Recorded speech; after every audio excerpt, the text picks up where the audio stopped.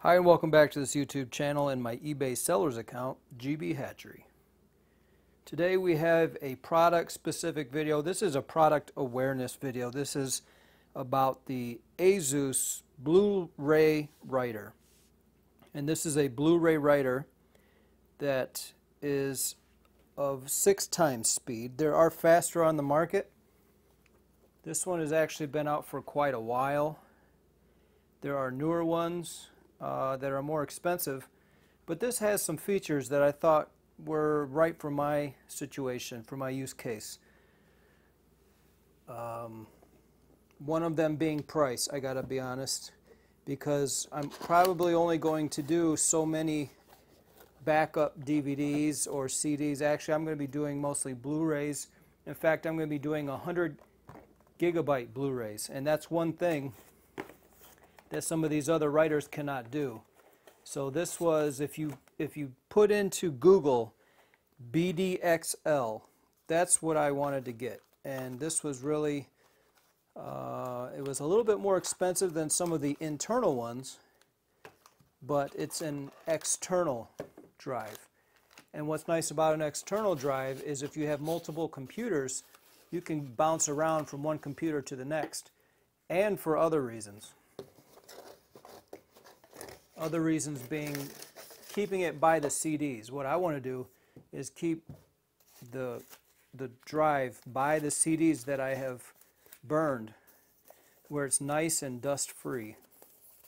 I could even keep it like like this. I could wrap it back up because if you think about it, when you put it um, a drive like this in your computer, you know how much computers hold dust because of uh, just the way they're made with the electricity going through them. They end up being a bit like a magnet at times, and then it just draws the dust toward them. Plus, they're blowing air at themselves all the time, and all those little, just the little crevices in here will slowly have air going through them, and it will slowly get dusty.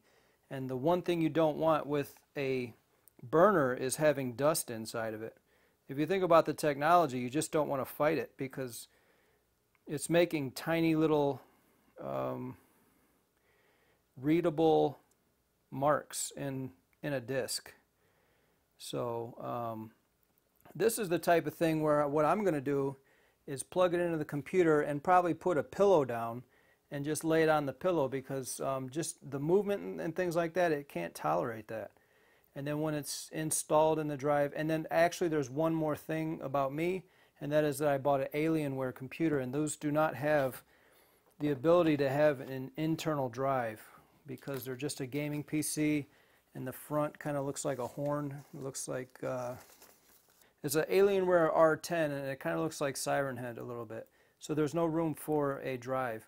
Now I have the other computer there, and it has room for a drive. In fact, it has a CD DVD burner but that's just the point. I'll be able to burn files from my one computer, the other computer.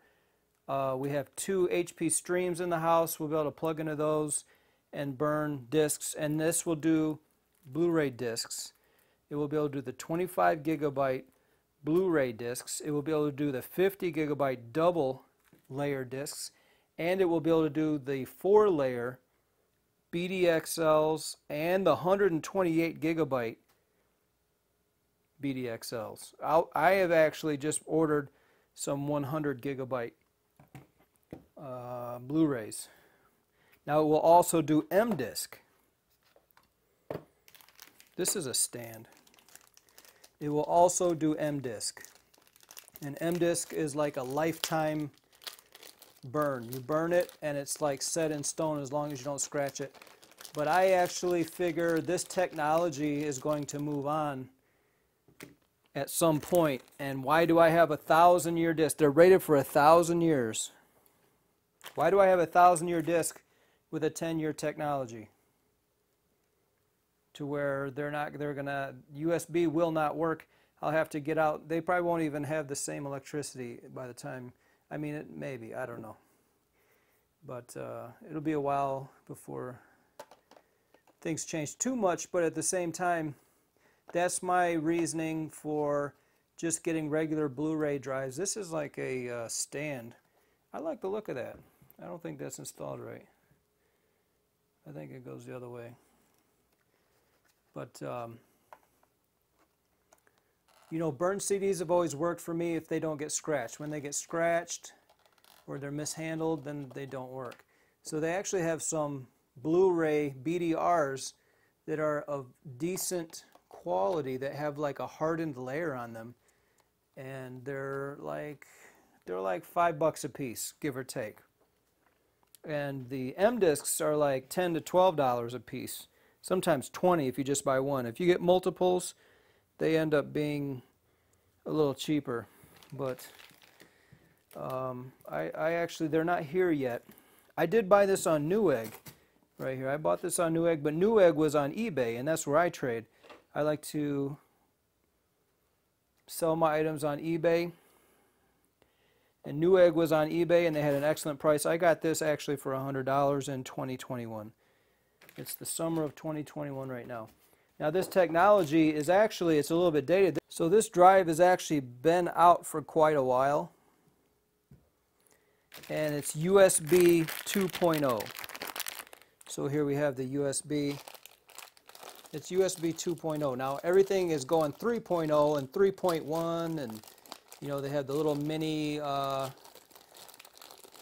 display ports and the mini USB 3 and all that and it's all coming out and you know they're going to change it another three or four years because they'll make improvements but uh, this actually uses one to the drive and this is as you can see the older style mini USB, not micro. All the phones went to micro, and then beyond that now they're going to USB-C. And USB-C is nice because it doesn't have to be oriented this way or that. You just plug it in and it works, and I love that. And I saw somebody who had it first, and I thought, oh, what's what's with the new connector? You know, it was on an iPhone, but my next phone had it, and I was now that I have it, I can see why. It's an excellent connector. So it's an older connector. Some of this is dated. This is an older design. But if you look at BDXL, you only have so many choices. And if you look at external, then you're even less than that. Now, ASUS has a newer one that's, I think, 16 times. I'm almost positive. It's a 16 times. This is only a 6 times. But the 16 times is 160 or 180 with shipping, and this was $100 with shipping and the other one was really bulky. And if I do any kind of burning, I'm going to get all my files in there and I'm going to press burn and I'm going to walk away because I don't want to be around bouncing this. Like I said, I'm going to probably put it on a pillow. I don't expect everyone to do that, but that's what I'm going to end up doing because I know the vibrations are really bad for it writing. If you think about the minute, just tiny indentations or it's changing it. I think there's one has ink and the other one has another way of crystallizing something. I don't know exactly. If you want to learn more about the technology, I would suggest a quick Google search and it will bring it right up on Wikipedia or anywhere else. But um, that's the one side of the USB cable and the other side is you have two plugs. Now I've actually been reading around um, uh, other people's use cases and what they've gotten away with and what works and what doesn't and it sounds like you can run it with just one especially if you're using like CDs and DVDs but once you start getting into Blu-rays um, this one I, the, they were either speculating or were 100% sure that this is a data cable and then this is just extra power. This is like PO, power on Ethernet. But this is not Ethernet but it's just a power uh, cable. Now um, it looks like it has all the prongs. So that's the speculation, but a lot of times the USBs are actually ganged up in the computer, so you're just getting the same power anyway. So I'm not exactly sure why it has two, but uh, one person that uh, was writing things on the internet with their keyboard, they were saying that this one they would use for data, and this one they just plugged into a charger, and then they started getting good discs, good Blu-rays when before they were getting errors and it would kick it out at them as a, you know, we can't burn that. So that's something to know about this that I did not know when I purchased it. And uh, I'm not sure that would have swayed me one way or the other, but it's nice to know now. And if you're looking at these, that's something you can know is that it does have this 2 USB 2.0 interface here with your computer. Um, another thing that I was reading about, you know, I've done a little bit of research, so you don't have to, but this Asus um, BD Suite disk, uh, some people uh, were saying that they weren't able to get, they plugged it in and they couldn't get this to to work to do the drivers, like it wasn't plug and play. Now things may have changed since then. You may be able to plug this in. The computer will sense it. You can put this disk in and then it'll upload the drivers. And the drivers are just going to basically consist of you getting a, uh, what do they call that, like an icon on your desktop, and you can drag and drop. That was another reason the Asus kind of floated to the top for me, is for ease of use, and especially for multiple computers. You get the, um, the files onto a USB. That's what they said they had to do, is go to a computer that already had a disk drive, because this is just a CD, I think and then get those CD files, get the files from here onto a thumb drive because they're not available on the internet. Once they're on the thumb drive, they can get it to their computer. So that's what I would do for multiple computers is I would get the files, put them on a thumb drive, and then I'd go around to the various computers that I want to use and install the, the, the uh, drivers. And the drivers probably have a little bit of uh, program that, uh, from what I've seen, is it has just an icon, and in fact, it shows it right here in the box. Some of the features. It just has an icon on your desktop, and that's another thing that drew, drew me drew me to the Asus here, is you get this icon, drag and drop to the thumbnail. Then you say burn. Drag and drop, burn, done. And I've had burners before where you have to get the special Super Burn Pro or something, and it just gets to be like, why in the heck didn't they do like Asus does? So that's why I bought Asus. So superior burning solution. Here it says the BDXL. That's what drew me in too. A lot of the, the burners out there will burn DVD and CD no problem for like 40 bucks get them used for 25 bucks. This one you can have for $100 or $75 new in 2021. And I think even Newegg will sell you one that's been pre-owned. Maybe been out and back once by somebody who wasn't too keen on uh, doing what it, having more than one burn. Maybe they burned it once and sent it back. But uh, BDXL, 128 gigabyte. Now these are a little bit rare and very expensive. There's one on uh, there's one on the internet for a hundred, what is it, uh, $35 or something? It's a Sony. It's a Sony BDXL 128 gigabyte, and it's like 35 bucks just for one. Now I got, uh, and I think that's an M disc as well, so it lasts forever. But I paid $32 and I got five 100 gigabyte BDRs, and I think they're going to last, and they're going to last and they have a coating on them that makes them like harder to scratch. Like it's a super tough coating. So I don't have those yet and I haven't tried to scratch them but it's just insurance. So this is for backing up files. So I'm making videos and I can back them up just so that when I'm older uh, I can look at them and go, yep, that was me. And I don't have to look at the compressed ones on YouTube. I can look at the originals. So M-Disc support, a thousand year storage solution. That's what I was talking about if you wanted to do that. And then disk encryption and all of that and aesthetics. Now it is shiny, so it's like a PS3 or an Optoma projector if you have a a 1080p Optoma projector, you'll see that uh, the fingerprints are left.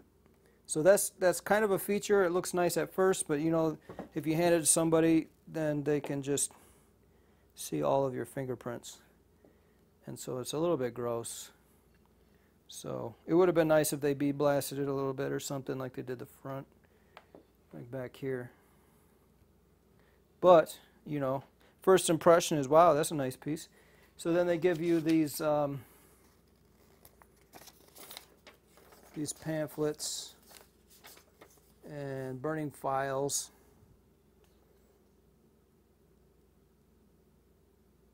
Select an action.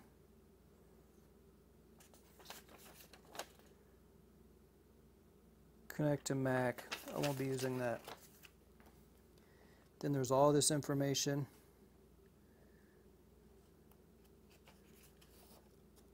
It's a laser product.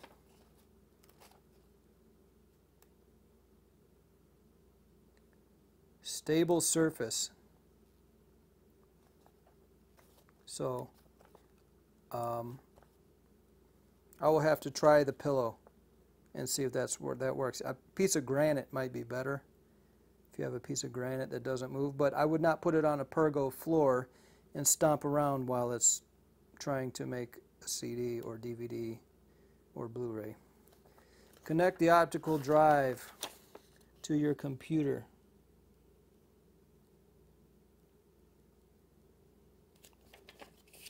Look at that, and then it just has all those languages. Ensure their system detects the external optical drive. So it should just go ahead and and see it. That's what I thought. I think this is going to be easy. There were some things on the internet that made it sound hard. It could have just been um, something, maybe a faulty piece, maybe a bad cable, maybe it wasn't plugged in right, maybe the, you know, sometimes the USB um, ports are not hooked up because you, if you build your computer, the ports you have to plug them in to your your motherboard. So if you just if somebody built your computer and they just plugged in the back ones or just the front, you might plug it in and think it's plugged in. So definitely plug it into a USB port that you know works. Remove the external hard drive. So like I was saying, I'm going to burn and then this is going to go with the media that got burnt. And it might go into a plastic baggie, and I'm going to have a stack of CDs, and then I'm going to have a burner on top. That's the way I'm doing it. I don't necessarily recommend everyone do it that way, but that's what I'm going to do because I've had many a CD burner and I've had many a CD player, and what they do is they collect dust.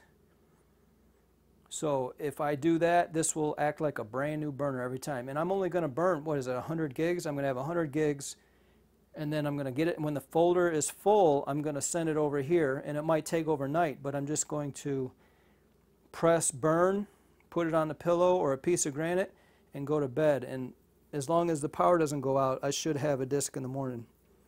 Hopefully not with any errors, but I can double check it, and if I have to burn again, so be it. And then I can delete the files off my computer, and I don't have to buy more SSD that may or may not hold the information long term.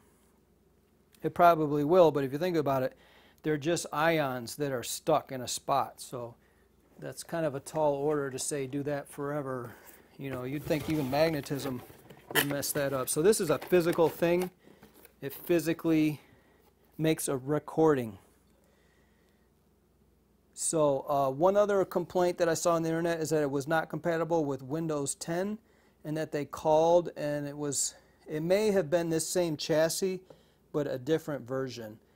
But from what I could read, it was the 06 D2X. And then the numbers may or may not be different at the end. I don't know. But uh, either way, this one, it says Windows 10 compatible right on it. So there's relief on that one. So I don't have to worry about that. Now it is a little bit slower. It's a six times. And uh, it's going to read CDs like 25 times if you have a CD like when I put this CD in, it's going to read that fast. Um, but, uh, you know, I just figured I would just go to bed anyway, so I wasn't really looking for speed as much as portability. And then I can see a stack of CDs, and I can see this at the top, well, BDXLs, 100 gigabyte BDRs that I pay five bucks a piece for that are, uh, you know, you can put those in a safety deposit box or anything, and then just, I'm going to put this right on top, and it's going to be quaint. But that's just me. That's what I'm doing. So um, that's the, the information I have on it. That is the research I've done. It's a BDXL. It's six times. It is USB 2.0. Uh, Would I like it to be USB 3? Yes. Especially because I have a new Alienware in the mail that should be here soon. But uh, the Alienware doesn't have room for the drives, so. And then I have multiple computers. And this thing is small. It's 730 thousandths.